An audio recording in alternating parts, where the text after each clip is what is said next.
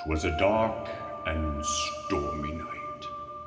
Campers, young and old, found themselves again in the oddly uplifting mountain forests of Cultus Lake. They were at Stillwood Camp, and this summer they would need a little faith to solve the mystery